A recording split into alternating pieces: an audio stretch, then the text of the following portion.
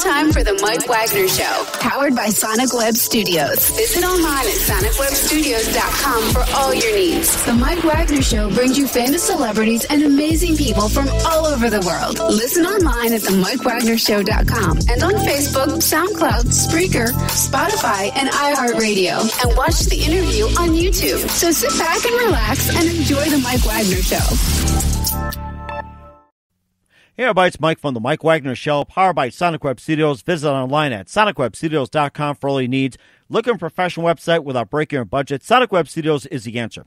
Sonic Web Studios offers fast, affordable custom web designs that blow the competition away. Call today at 1 800 303 3960. That's 1 800 303 3960. Or email to support at sonicwebstudios.com.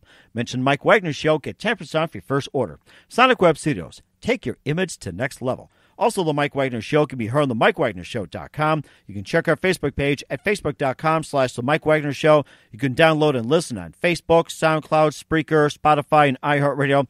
Also on Anchor FM, Radio Public, and also on iTunes, Apple, Google Play. Subscribe to The Mike Wagner Show on YouTube channel and take The Mike Wagner Show with you on any mobile device. We're here with a wonderful woman from St. Petersburg, Florida, the author of Woman of Many Names, available on Amazon.com. It's about a woman who helped shape the history of our nation and uh, with ties to Daniel Boone, George Washington, and a role model to uh, Joan of Arc and uh, memorialized in a very interesting part of the state. And she's also known by a special name, the Trail of Tears, and um, also one of the directors had serious regrets about not making a movie about this special person. Without further ado, we have a fine lady here who's um, taken interest in a woman of many names, and you can also check out the website, womanofmanynames.com. And here she is, the woman of many names, but she'd rather go by just one. Ladies and gentlemen, from the beautiful state of Florida, Deborah Yates. That's the one name. Deborah, good morning, good afternoon, good evening. Thanks for joining us today. Oh, good evening, Mike. What a what a splendid rendition there. Yeah, I, that's great. I love it. Well, I'll tell you one thing. If you had many names, you could have told me I go by this, I go by that. But, um, you know, just you being Deborah Yates, you're the author of Woman of Many Names, available on Amazon. And it's about a woman who helped shape the history of the nation, ties to Daniel Boone, George Washington, serves as role model to Joan of Arc and memorialized in a very interesting part of the state. And before we get into all that, uh, tell us how I got started. Well, I actually was just on a road trip driving around, and I was on my way to um, Georgia, and I was driving through Tennessee, and I thought, oh, I need to go in there to that state forest. I think there's things there that I need to discover. And um, because the Cherokee um, National Forest runs through pretty much, uh, uh, you know, the central and eastern part of Tennessee. And I mean, I knew I was Cherokee, um, na- um, born uh, uh, in my blood, and you know, it with. I tell people that it doesn't matter how much Native American you have in you, you've got to drop. You've got to drop, uh-huh. and that's I think something to be very proud of. Our our heritage goes back to, you know, well before the uh, a white man and from England and France and the folks from Spain and stuff started, you know, really exploring uh, this territory, and um, you know, to know that your people walked this ground, you know, thousands of years ago that we live on today, you know, it's an honor to have that in um, instilled in you. And even though I wasn't raised in the Native American culture, I find it interesting now looking back. You know, I'm 60 something, and um, the influences that it has in my life today um, you know, it just amazes me how those cultural things, you know, have been carried down through our family, like cornbread and beans and, you know, just different even foods, mm-hmm. as well as, you know, maybe the way we have thought processes. And, you know, I think a lot of Native Americans have a natural, um, you know, and, uh, you know, we're, we're, have a a tendency, you know, to fear you know, government and different things like this. And Mhm. that's a really hard statement for me to make. I almost didn't even want to get it out of my mouth. hmm But I, I, I I- understand. very true. Uh-huh. I find it to be very true today too. hmm And, and also, too, now I just want to clarify. And did you say you're part of the uh, Native American Cherokee, or was it just um, you know you I say you're born? Oh, you are okay. I am Cherokee uh, Indian. Uh, my grandfather um, came off the uh, reservation or the nation out in uh, Tahlequah. And um, when he was a little boy, in the uh, early 1900s, there was like a mass exodus from the Oklahoma territories. You know, it was very hot and dusty and windy, and not a lot of things were going on. And the people were mm, starving to death, basically. You know, they were, you know, malnourished and couldn't find jobs. And if you don't have jobs, you can't get food. And so, as a very young man, I believe he was about 12, he had been orphaned at um, nine. And he told us both his parents had died. So, a story we accepted full, wholeheartedly. And um, he came to live with his sister uh, in Winter Haven, Florida, which is not too far from where I'm at now hmm you know um, he did what he had to do to survive. He left there. He never went back. And from there you know he migrated to ohio where he raised a family. And that native american uh, pa- part of him uh, he hid that. We we weren't to discuss our native american heritage. It was something you know that that i didn't find out till i was probably 12 13 years old. Wow. Just wondered where these dark looks came from. And um, you know, my skin I'd, you know, go I'd lay out for an hour and I'd be as darker than my friends that had been laying out for two weeks. you know, it's like I don't understand this, but oh well, I'll go with it because I don't have to sit out in the sun so much. hmm But um, and I had a natural love for the outdoors. I always rooted for the Indians and the cowboy and Indian shows. You know, it's like, and I never really understood why. And I had an affinity for wolves and for swans and just all kinds of animals, horses. I, it was just. It was just me. That's all I wanted to do. I wanted to be with my animals, play with my animals, groom my animals, you know, feed them, water them, everything that goes with it. At a very young age, I had a lot of responsibilities. So, you know, it, and that all works back towards that old thing where, you know, you're, you know, socially, you know, things go awry. hmm And, and the, the, the times then it wasn't a good thing to be an American Indian. So that was hidden for a very, very long time. I've got a cousin that contacted me a year ago, said I had no idea we were Native American. hmm Now, now, now, now, today, where the uh, Native Americans have been uh, recognized uh, at this time, thanks to social media and um, you know changing attitudes and everything. And do you think this presence of uh, bringing it out uh, from from way back when has actually helped you guys, or is it being uh, put on as more of a bullseye, as more criticism? You know, you know, you've you've got to look at that a myriad of ways. This country was founded on what it was founded on. We cannot change that. Mm-hmm. no matter how many um, statues we tear down, no, ma- no matter what we do, no matter if we stop teaching what our true history is in schools, doesn't change our history. Mm-hmm.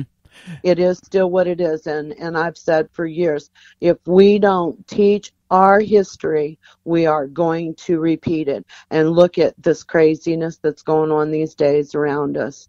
And I, I think it's a double edged sword in a lot of ways. It, I, I've had a lot of uh, my white friends um, tell me that it re- has really opened their eyes, you know, and they kind of can empathize a little bit more with Native Americans after reading my book. And um, Nancy Ward was such a, a magnificent woman who I believe God placed where He placed her at the exact time in history that she needed to be. Mm-hmm. I believe George Washington was the father of this country, and Nanyehi Nancy Ward was the mother of this Mhm. country. That's amazing. That's amazing. Yeah. We'll, we'll talk about Nancy Ward and uh, how you got in writing a book in just a minute. You're listening to the Mike Wagner Show at the MikeWagnerShow.com, powered by Sonic Web Studios. Visit online at SonicWebStudios.com for all your needs. Looking for a professional website without breaking your budget? Sonic Web Studios is the answer. Sonic Web Studios offers fast, affordable custom web designs that blow the competition away. Call today at 1 800 303 3960. That's 1 800 303 3960 or email to support at sonicwebstudios.com. Mention the Mike Wagner Show, get 10% off your first order. Sonic Web Studios, take your image to the next level. Also, the Mike Wagner Show can be heard on the MikeWagnerShow.com. You can check our Facebook page at facebook.com slash the Mike Wagner Show. You can download and listen on Facebook, SoundCloud, Spreaker, Spotify, and iHeartRadio. Also on Anchor FM, Radio Public, iTunes, Apple, Google Play, and subscribe to the Mike Wagner Show on the YouTube channel. Take the Mike Wagner Show with you on any mobile device.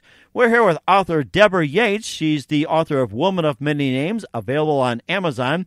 And it's about Nancy Ward, as she uh, just mentioned, a woman who helped shape the history of our nation. And of course, before we get into uh, Nancy Ward, and what was the precise moment that influenced you into writing a book and the woman of many names, which is um, Nancy Ward? Well, actually, it was a very long, drawn out process. And I was just making notes for the family.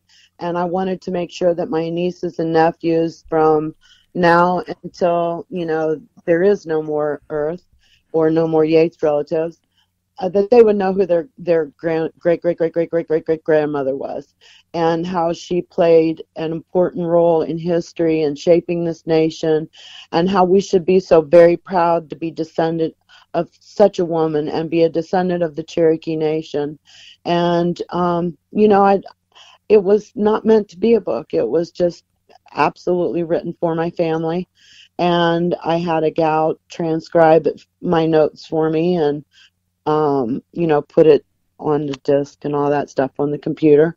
And I'm very not skilled at computer skills. I had to have help for sure. And that's how it all started. And the lady that transcribed it said, Oh, you, you know, this needs to be a book. People need to know this stuff, Deborah. And she goes, You know, it really was eye opening for me. And so at that point, I sat down and, you know, took an objective look at it and tried to um, you know, decide what to do. When I decided to proceed, I just started making phone calls and reading everything I could get my hands on, ordering every book I could find on her to, you know, to find out what was written about her already. And then I took the family stories that I had written down about the, our grandmother and combined it all together and, and made um, Woman of Many Names. And it's the story of Nancy Ward. She was um, the reason it has that title in the very beginning of the book, it will give you a list of approximately 13, and I found a couple more names and or titles that Nancy Ward went by through her lifetime. And um, you know, the more I run into different people, you know, I and family members, I hear a little bit different stories too that you know that I was able to weave into those writings. Now, it is absolutely written as fiction because some of that stuff is, you know, you have to make a book interesting, don't you mm-hmm. know? So, exactly, you're right. Yeah. so I can't exactly know everything that's in that book, but I think I got a pretty good idea what my granny was up to. Mm-hmm. But um, uh, pretty much most of it pretty good. Every once in a while, might have been. It, it sounds like it too. In the first part, it, she has ties to Daniel Boone and George Washington. You were going to talk about that, and now, yeah. um, of course, yeah. in course, she saved um, George Washington as well too. And uh, tell us, uh, how did she have ties with Daniel Boone, Boone and George Washington? Okay, well, Daniel Boone was known as Wide Mouth in the um, amongst our people, and that was because they thought he was like way crazy. Mm-hmm. He would go through the mountains singing at the top of his lungs and you know belting out these big notes and stuff. So that's how he got the name Wide Mouth. And um, um, I believe they met somewhere amongst in there when she would have been in probably her early to mid 20s. And then um, as time progressed and as the country grew, um, Daniel Boone was hired by the Transylvania Company to um, open up the trails through the Cumberland Gap and open up Kentucky. Well, what happened was was that was kind of our hunting grounds up in there, our summer hunting grounds. So it was kind of like Cherokee land, so to speak. Mhm. Shawnee were in Ohio, and you know, Kentucky was pretty. You know, everybody hunted there, so um, it was considered Cherokee grounds. So he bought Kentucky, Kentucky from Nancy Ward. Wow, that's amazing too. And did he did he mean enough, enough resistance when it came to uh, dealing with the Cherokees and um, buying this territory, or were they like, yeah, sure, go ahead and buy it? Um, you know, I think that over time that his repres uh, that his reputation preceded him. Uh, he did have some uh, not so nice dealings with the Shawnee, who Mhm. also there. But I believe, as far as the Cherokee were concerned, they really um, liked him, um, and everybody thought he was touched a little bit. So. When you were touched in the head, they didn't bother to kill you. So that's Huh. part of why he did what he did. Inter- in- Um, interesting. What, what was it, what's the difference between the uh, Cherokee and the and the Shawnee as well too? uh, you know, we're all descended from like the Iroquois, the Delaware, the Powhatans. We're all technically the same blood, but as each one would shoot off, you know, they just got it went by a different name. But Okay. we're all same blood. Okay, got it too. all of the same and blood. and she also talked about George Washington as well too, and uh, how was she connected with George Washington? Well, the um with George Washington, all I can prove is that we know that she negotiated treaties through all the areas of Virginia and the Carolinas and Tennessee that made it able for Mr. Washington, George Washington, to be able to traverse those areas unencumbered. Had those treaties not been in place that allowed him to do that, he would have met with very large resistance of many contingents of many Native American tribes. So it was, um, I believe that through Thomas Jefferson was the main crux of how you get back from Nancy Ward to George Washington. Um, there was a, um, and I wish I could remember the name of it, but I can't. There was a, a meeting called for uh, 13 or 14 um, chiefs in the Cherokee Nation and, and those areas up in there. So they went to meet up for this meeting and they were all taken prisoners. Hmm. Nancy Ward and uh, which was, you know, one of our great leaders, also war chief, and who happened to be running around loose was uh, her other uncle, Attakullakulla. hmm Now, Attakullakulla um, was able to negotiate and as uh, well as along with Thomas Jefferson secured Nancy Ward's release from that meeting.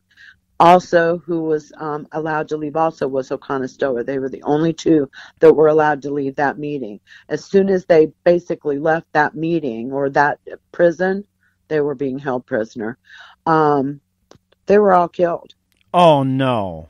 Oh yes, they they the, the other the other eleven uh, were all all died uh, after that.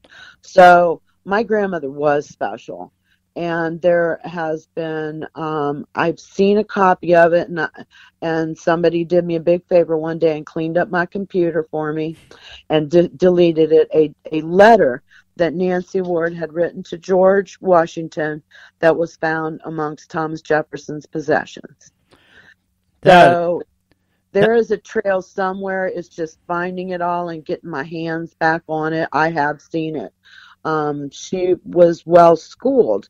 Um, her her birth had been kind of like foretold that there would be a, a a great woman that would rise up out of the Wolf Clan to lead her people to greatness. And um, when my grandmother was born, um, my her her grandmother took her to bathe her in the river, and the which is customary among among the Cherokee. We're very cleanly people. We liked our daily baths. You took a bath every day. Mhm. You did not want to stink. And the men pulled their hair out. That's a given. The men, the men pulled their hair out too because that's how we tracked those settlers and the colonialists and the French and the English. We could smell them. They Huh. could, lit- we could literally smell the stench because you know they didn't believe in bathing every day. Once a week, you were lucky. So we we're the ones that actually taught those folks how to bathe. Okay. Wow. Uh, yeah, an interesting, unusual tidbit there, pretty much. But yeah, see, I mean, you were of royalty if you bathed every day, and they didn't even like to bathe every day. So, um, and those two un- uh, those uncles also went to England on a ship called the Fox back in the uh, very um, in the earlier 1700s to hang out with uh, King jo- King George the Third, I believe it was. It, it, it sounds like King George the Third. It was the third, and you are correct. Thank you. well, there was so many of them, you know, these King Georges. Anyways, um, so it was kind of another interesting experience that our family had had, and that's how, quote unquote, you know, um, their father was named um, the Emperor Huh. Interesting. America. That's what uh, the King of England decided to call him. So when they went over there, they took a coon hat, a coon skin type hat, Mm-hmm. um, gave it to King George, and uh, he called it the Crown of Tennessee. Because see, Tennessee was supposed to be Tennessee, Huh. not Interesting. Yeah, it is, isn't it? Oh my goodness. Ohio means beautiful river, and I'm not sure what language that came out of, but that's one of the native Mm. languages. Ohio meant beautiful river. So it's um, you know how uh, you know they kept a lot of our names, uh, a lot of the cities, like Etowah means muddy, muddy, muddy water. Mm-hmm. Um, you know, just you know, just interesting little things like that. But um, if you you know take the time to you know just Google Nancy Ward, you know the the information that pops up is completely crazy, and some of it very true, some of it not so true, and you know, and I'm sure there's a lot of embellishment that went on back and forth, but you know, I have to believe that that what my grandfather told me was true that my grandmother knew George Washington. So, you know, that's my family lore. And, you know, there you go. Amazing too, and of course, uh, you could say about Nancy Ward, she did not help George Washington cut the cherry tree down. That's one thing for sure. No. Nobody's even sure he cut that tree down, don't you know? you have to ask her as well too. We'll You get the. to there's Deb- that one. we'll get to Deborah Yates in just a minute. Talk about uh, some of the role models memorialized and another name, woman of many names. Listen to the Mike Wagner Show at the MikeWagnerShow.com, powered by Sonic Web Studios. Visit online at SonicWebStudios.com for all your needs. Look at a professional website without breaking your budget. Sonic Web Studios is the answer. Sonic Web Studios offers fast, affordable custom web designs that blow the competition away. Call today at 1 800 303 3960. That's 1 800 303 3960 or email to support at sonicwebstudios.com. Mention the Mike Wagner Show, get 10% off your first order. Sonic Web Studios, take your image to the next level. Also, the Mike Wagner Show can be heard on the MikeWagnerShow.com. You can check our Facebook page at Facebook.com slash The Mike Wagner Show. You can download and listen on Facebook, SoundCloud, Spreaker, Spotify, and iHeartRadio. Also, Anchor FM, Radio Public, iTunes, Apple, and Google Play. Subscribe to The Mike Wagner Show on the YouTube channel and take The Mike Wagner Show with you on any mobile device. We're here with author Deborah Yates, the author of Woman of Many Names, available on Amazon. It's about Nancy Ward, the woman who helped shape the history of our nation. She had ties to Daniel Boone and George Washington, and also served as a role model akin to Joan of Arc. You can just uh, tell us a little bit about that. Well, I'm really not sure where that Joan of Arc came from. My uh, publisher, you know, he just said, you know, you know, Deborah, he goes, think about this. He said, you know, if your grandmother hadn't been where she was supposed to be when she was supposed to be there, then all these other things wouldn't have taken place if she would have died in the Battle of Taliwa. And the Battle of Taliwa happened in northern Georgia, around Ball Ground, Georgia.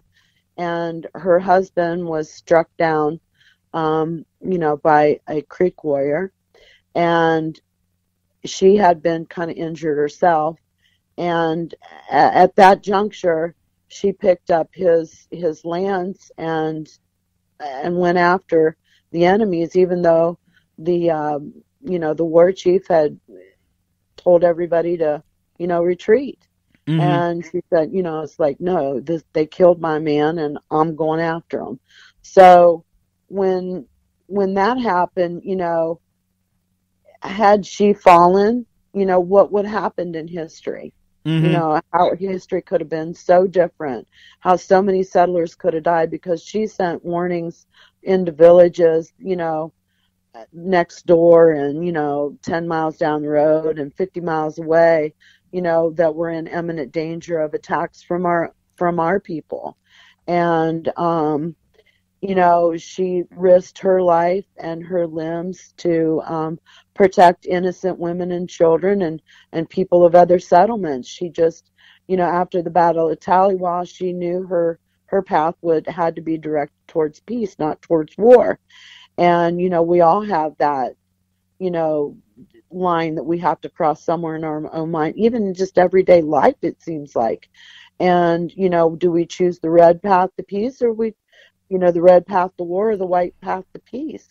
And she made, um, you know, a decision that she was going to work for peace in the country that she lived in, a safe place for her children and her grandchildren to live and go into the future. And and her land was supposed to be held by the government for as long as America was America for her and her seed, her children. And of course, you know, that was another treaty that got broken eventually. But, you know, and my family and the Cherokee Nation actually, you know, approached Congress back in the 60s to to give um, give them those lands back that were promised. You know, you know, a couple hundred years ago. You know, you're going back on your word. This this needs to be reinstated for this woman's legacy for what she did for this country. And well, don't you know, they turned us down.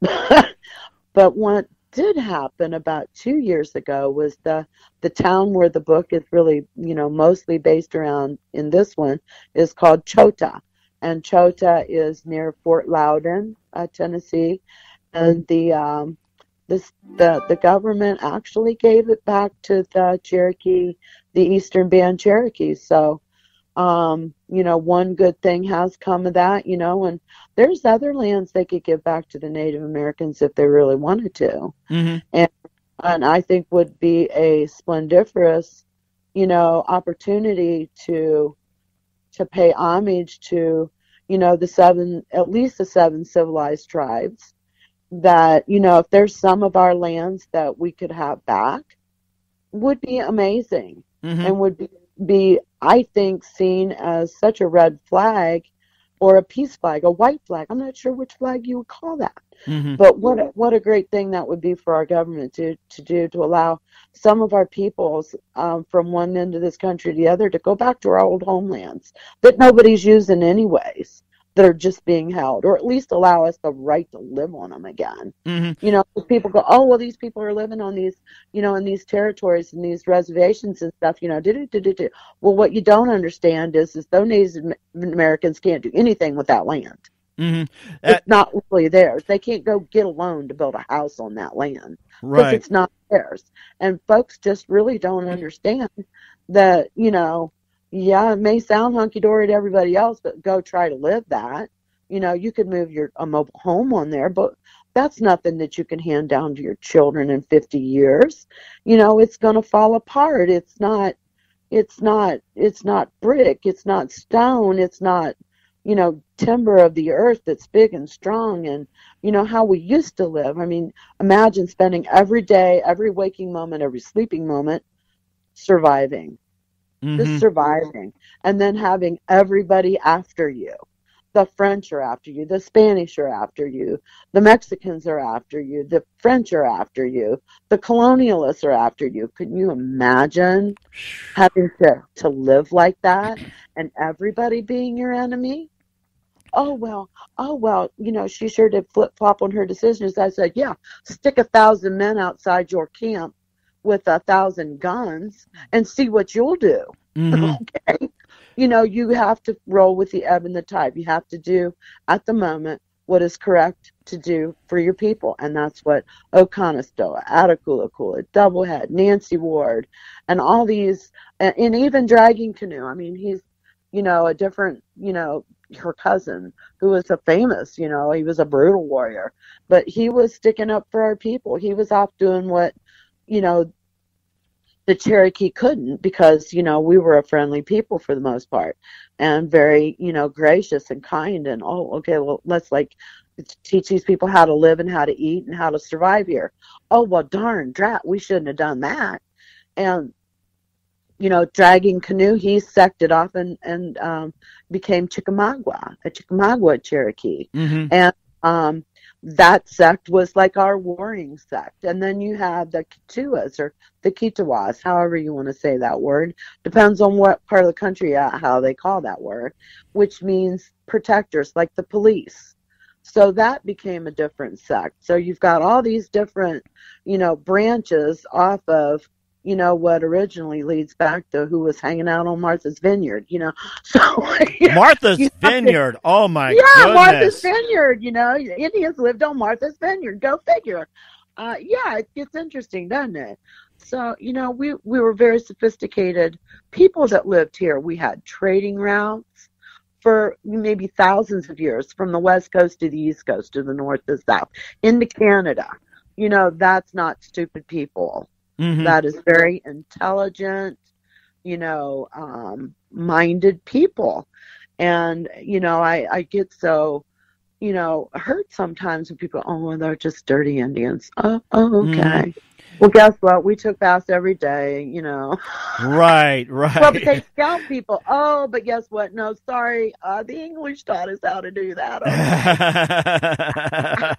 well, you know, do unto others, you know, I mean, you know, it all leads back to somewhere, but I believe God had an absolute divine plan for this country, and my grandmother was part of it. Mhm. So, That- That's, that's amazing too, and of course, uh, she's also known as Nan Yehi. Did I say that right? The Trail of Tears. Did I say that Na- right? Nan Yehi. non, non Yehi, yes, non Nan. Okay, she's known by that name, also known as the Trail of Tears, one of the great American tragedies. So tell us all about that. Well, Yehi doesn't mean Trail of Tears.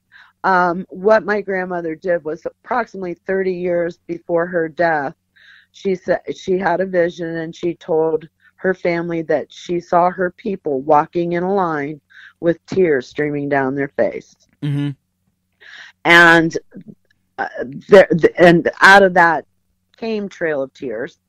But what also came out of that was a very large part of my family evacuated themselves from the Tennessee, the Georgia, the Carolina areas because of what she said. They revered her. And, you know, if Nanyehi had a vision, you can just about bet it's coming true sometime or another.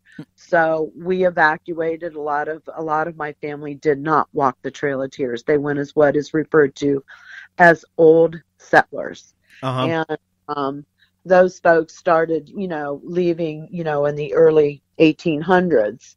You know, probably the 1820s, I believe, is about when they started to evacuate hmm because the writing was on the wall that we were, you know, not wanted where we were at. They wanted our lands, they wanted our gold mines, they wanted our silver mines, they wanted our assets that that we had, and um, uh, they were ours.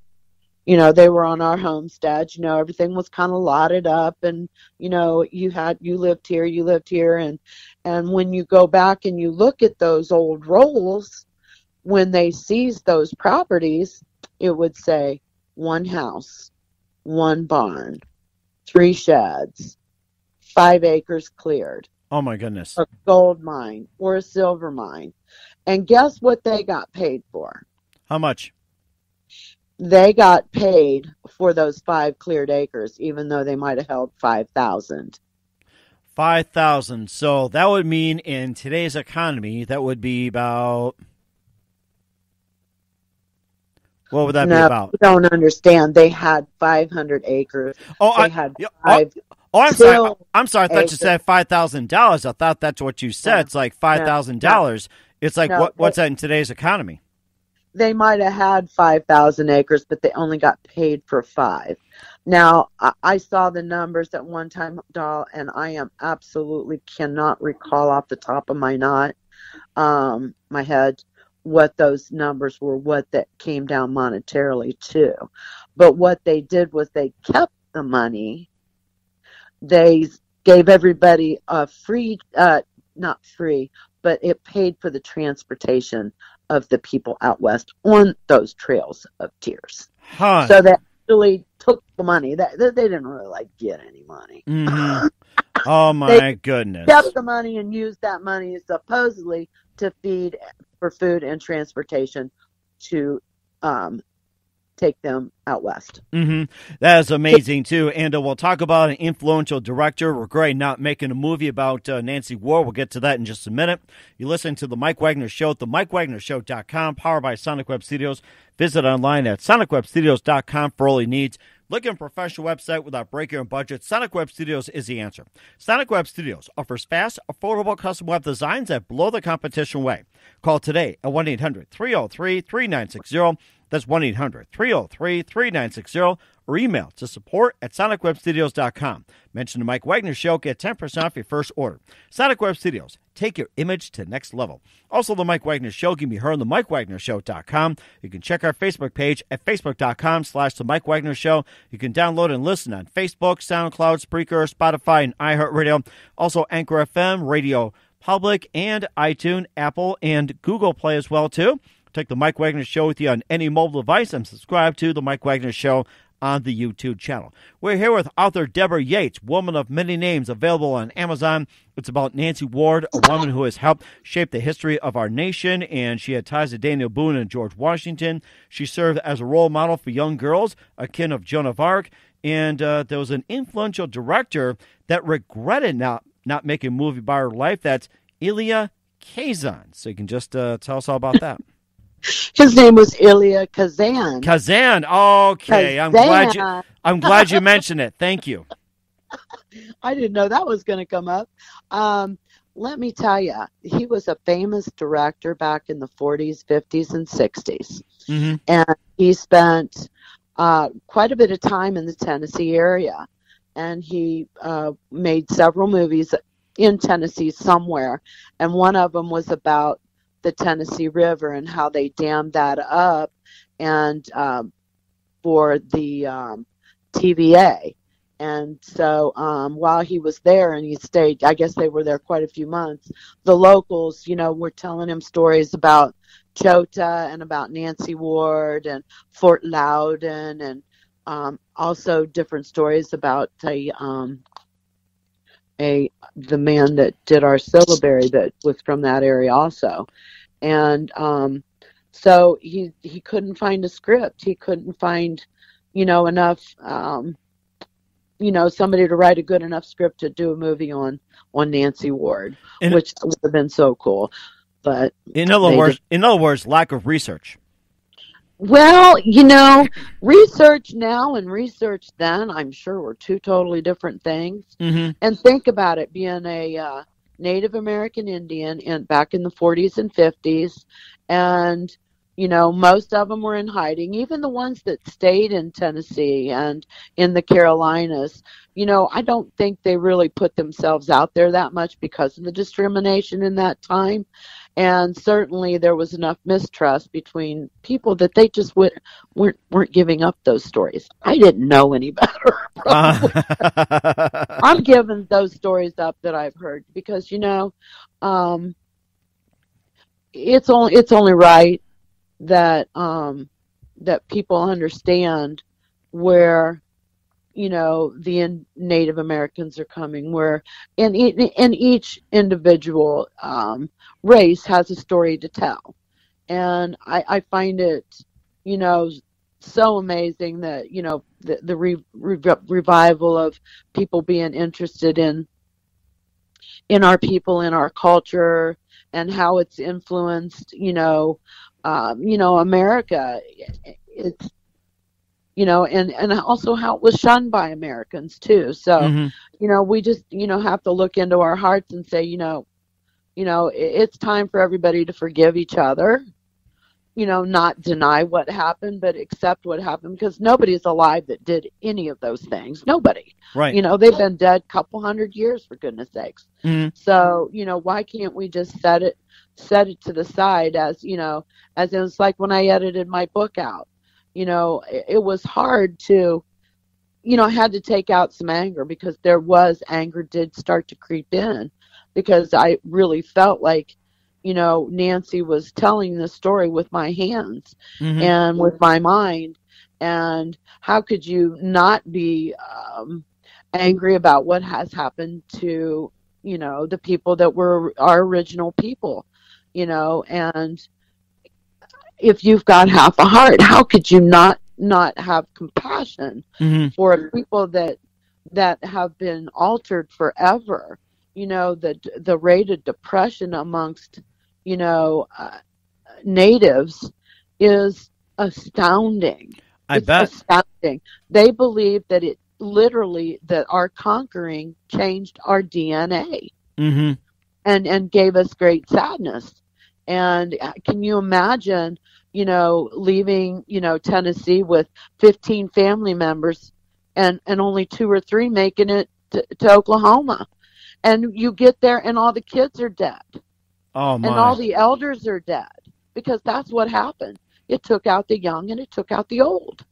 And so we had generations, you know, that were lacking, you know, children. I mean, they had to get busy once they got out there recreating families again. And, you know, it, we lost, you know, at least two thirds, I believe two thirds of our children. mm-hmm. I believe that's how many we lost. We, we can pretty much believe that we lost 16,000 people on the trail. I believe, I might be in this by myself, but that we lost at least 16,000 before the tr- anybody ever went on the trail Wow. in our imprisonment uh, or our detainment, whatever you want to call that. Um, the the conditions were horrible. There was lots of people in a small area, and we all know what happens when that happens Mm-hmm. and you know, it was fall. Oh, here, let me grab my coat and shoes. Oh no, get out of here. You know. Oh, it, it's it's like they the- just it's like they they're forced to leave possessions but fine. They had to just walk Everything. outright. walk right out. Absolutely, Wow. wherever you were. If you were in bed, you walked out in your nightie, and you know that's just that was just cruel beyond any measure of anything. You know, not to allow people to pack up some of their possessions, what they could fit in their cart, or you know whatever. I don't know. We can't change it, but um, it, it is heart rendering. And if you can't see that, you know that, and people are still angry about it today, and I get it. I do. I, I Mhm. swear I get it. I I, But you know, I, understand. I understand too. And do you, do you think the relations of the Cherokee and the, and its people and also with America has that improved um by any chance throughout the years? I think that it has in a lot of ways. I mean, we're it's they they have their own government. They have you know some of their own health care. Um, we're you know we're just or they are just fixing to open a medical school in Tahlequah, Oklahoma, um, where people are going to come and study medicine. Nice. And, and through that, the hope is is that a lot of these kids that are going to go through this school are going to see the need on these reservations or whatever you want to call them nations you know if you look at a map it says reservation you know you look at another map it says nation but there are so many deserving people living in these places in the middle of nowhere that need health care mm-hmm. they need dentists. They need psychiatrists psychologists and a lot of our young people that are going to be doctors and so on and so forth. They come from great privilege already. You know uh, more than you know 10% of these kids are, are coming from doctors and stuff themselves. Their parents and their grandparents were physicians. And i i am just hoping that that somewhere along the line people see the need and and do something here for these people. You know we we do need to go into other countries and help but we need to look at home. Mm-hmm. And and you know they don't have to go there and live forever. I'm not saying that but you know open you know small clinics and hospitals that you know these people can get training for and that and that these people can be you know getting health care and dentistry and uh, mental health care that's so sorely needed in these places. You know i think the cherokee um, government is doing an amazing job of that. The Western Band Cherokee, all their monies that they raise from their um, casinos and so on and so forth goes into those programs. And, you know, we're, we're a self sustaining government out there, they are, and it's a beautiful thing. It it, it, is a beautiful, beautiful thing. That it's a role model for for any business, uh, you know that you know that wants to see, you know, how somebody does something maybe just a little bit different and still succeeds. Mm-hmm. It's it, and we've elected a new chief out there, or they have elected a new chief. I'm not a member of the Cherokee tribe myself, but I couldn't. My my soul is 100% Cherokee, and I am a mutt. Trust me, I am a true mutt. it, it sounds like everybody too. It's like having these uh, mixed breeds and everything else. mutt. And and of course, Yeah.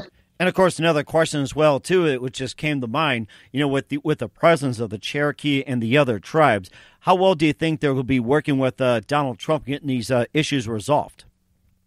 You know,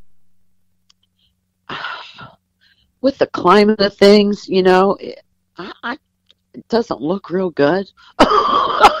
um, but you know, he's probably looking at things a whole lot differently than what they do.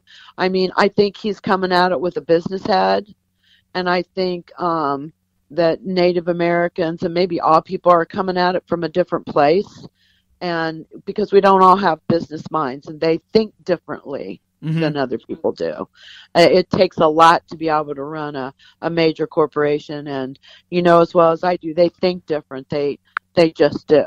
Uh, politicians think differently than businessmen. Housewives think differently than everybody Mm-hmm. you know it just depends on what your experiences are i think that you know um that hopefully someday here real soon that people are just gonna um be glad for what we have going on right now we have elections in this country for a reason every four years and if if that many people don't like our president then they need to go vote hmm And and that's amazing too. And of course, the best part about Nancy Ward, she's memorialized in Benton, Tennessee, by federal She is. Historical marker. And um, I guess the question is, uh, why Benton, Tennessee? Well, after Chota was destroyed, um, General Sevier actually took her prisoner, and he wrote Thomas Jefferson a letter. And in that letter, he said, I do not know what to do with Nancy Ward. Thomas Jefferson wrote him a letter back saying, Ask Nancy Ward what to do with Nancy Ward. She will know best. That- he let her go. That is amazing. he let her go. there And you go. was bas- she basically moved to Benton, Tennessee, on the Ocoee River, just south just south of Benton, and um, she had a, a mill where um, you know what you know they do at mills, they make grain and different stuff like that, and you could actually kind of still see where the old mill sat. And then she opened an inn, and it was called Woman Killer Ford. Woman and, Killer uh, Ford. Interesting. Woman Killer Ford. I like some Woman Killer Ford, please. Yeah, woman, And- and- uh, let me out this river. I want to stay at Woman Killers over here. you want fries with that? there you go. They got good beans over there. oh my goodness, I can Well, imagine. Yeah, so I'll have to eat there imagine? sometime. can you imagine? So I've actually been to the uh, to the site, you know, and seen the foundation stones and stuff where where her um, her inn and her home actually was, and she lived and died there, as well as her brother and son also lived and died there, and they're all three now uh, buried not too far from where that old inn sat. So. Um, uh, when I discovered that, I was just going to a park that was named after my granny. You know, my cousin calls me on lounging on the beach in, uh, let's see, I think it was South Carolina hmm or Charleston, wherever Charleston is. And uh, she goes, Did you know our grandmother had a park named after her? And I said, Well, I absolutely did not know our grandmother had a park named after her. Where's it? Benton, Tennessee. I said, Well, let me look at this here. She goes, It's by Chattanooga. And I said, Well, there's no good way from here to Chattanooga, but let me look at this and I'll call you tomorrow. So I sat down with a map and I'm going, Oh my gosh, I got to go almost all the way back to Savannah. oh my no goodness. fun. Oh, there's no good way. There's no good way from there to uh, Chattanooga. Trust me. oh uh, my gosh. I go is- backtracking, and the next day I woke up and I just I knew I had to go.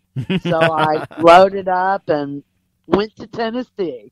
So when I pulls up there, um, it's like, oh my goodness, it's a park, a boat ramp, and oh my lord, she's buried here. Oh no, this cannot be. How did I not know this all these years? We didn't know. I didn't know. So I called my cousin. I said, oh, it gets even better. She's buried here with her son and her brother. And um, so um, that began the journey. That's actually what began this journey to write this book and to tell this tale. And, you know, it's been, you know, a little over three years. And by Jove, I'm still talking to folks. So I'm just hoping that, you know, somebody's listening will read this and really enjoy it and, you know, tell your friends about it. It it's not the probably the best written book in the world, but um I'm not the best speller or you know, and all that kind of stuff. I'm just an older lady that mm-hmm. decided to to do a, a pen project here and um, I hope everybody that does read it enjoys it immensely and gets curious about their own ancestors and where they might have come from. That, that's amazing as well too, and we're all looking forward to your book as well too. And uh, what are some of your upcoming projects that you have? Do you have another book coming out, or something similar, or anything like that? Well, so far I, I really, there's one place I have to go back to, and that is back to Thomas Jefferson's Monticello, and um, I, I think that I might have more answers there to, to finishing this book. Um, as you can well imagine, having to delve through presidential records and stuff like that from a couple hundred years ago is not easy. Mm-hmm. And um, I, I do have the beginnings of, of another one written, and I and I hope to be able to get back to that soon and and you know put another one back out there and finish up the story of Nancy Ward. Even though it is fairly well documented, you can find a lot of stuff online about that. My my main concern with this first one was to make sure that Kingfisher, my grandmother's husband, and my grandfather um, got his um, just due in in literature, and to know a little bit more about him as well as the culture of of the ancient, you know, Cherokee and kind of what we were about. Nancy Ward held the power of life and death in her hands. They made her wings. Um, there is some discrepancy about that. My grandfather told me they were swan wings, that she wore swan wings when she would do her um, tribal type duties. And if she took her hand and went to the right with it, you got to go. And if she went to the left with it, you weren't going anywhere. Mm-hmm. She held the power of life and death in her hands. And, you know, um, to think back on a woman in the 1700s and the 1800s wielding that sort of power mm-hmm. among her own people, how, um, you know, awe-inspiring was could that be? Right. How intimidating that could be because other cultures that were all around us didn't see women as being useful figures, as you you know we we know mm-hmm. uh, about about history and about how women have been um, looked upon uh, before, and some even now. But um, there were great women. Joan of Arc absolutely was one of those, and Nanyehi, Nancy Ward was one of those, and there are so many other great women in history that you know lived and survived and and ruled and ruled well. Mm-hmm. And that, I am looking forward to our first female president. Absolutely. That's and, that sounds amazing. We'll talk more about that. And once again, what's your website and how do people contact you? Um, um it's um, you just go to um, Facebook and um, search "Woman of Many Names," and um, like it, and from there you can get in touch with me with any questions that you might have or um, you know just any type of communication in that result. And you know find out about upcoming events. You can you know hear read see you know different things that i've done in the past too That's amazing, too. And once again, Deborah Yates, the author of Woman of Many Names, available on Amazon. And just wanted to say a big thank you for your time. You've been fantastic. Looking forward to having you on again soon. And uh, please do everybody a favor and keep us up to date.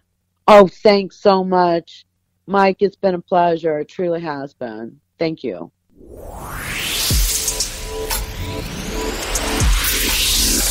Thanks for listening to the Mike Wagner Show, powered by Sonic Web Studios. Visit online at sonicwebstudios.com for all your needs. Listen online at themikewagnershow.com and on Facebook, SoundCloud, Spreaker, Spotify, and iHeartRadio. And watch the interview on YouTube. Also, become a sponsor of the program and or donate today at themikewagnershow.com. Join us again tomorrow for another episode of The Mike Wagner Show.